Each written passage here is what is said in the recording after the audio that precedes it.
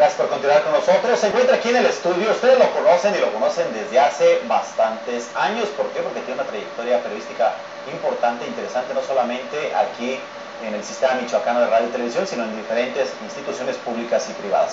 Rafael Silva, Rafael Silva Reyes, conductor del nuevo programa de la tele del sistema Vía Libre. Rafa, ¿cómo estás? Buenas noches. Muchas gracias, mi querido Enrique. Lidia, muy buenas noches. A sus órdenes, efectivamente, hay un nuevo programa. Eh, a partir de escasos minutos, vía libre, todos los puntos de vista, una producción del Sistema Michoacano de Radio y Televisión. En unos minutos más, ¿qué vamos a ver en vía libre? Van a ver un acercamiento del periodismo con la gente.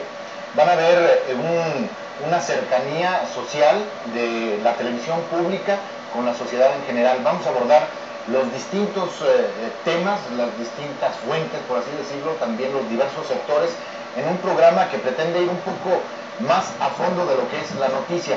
Vamos a trabajar con un, eh, un, una especie de gran reportaje, pero muy cercano a la sociedad.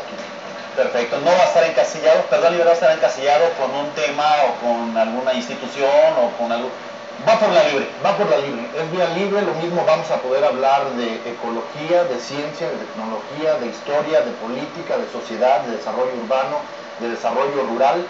Todos estos temas que hoy le interesan a la sociedad van a estar presentes en este nuevo programa. A partir de hoy, unos minutos más, ustedes podrán eh, estar al pendiente de vía libre y por supuesto también muy pronto vamos a abrir un correo electrónico para recibir también la opinión de eh, aquellos a quienes nos debemos, que en este caso son los televidentes del Sistema Michoacano de Radio y Televisión.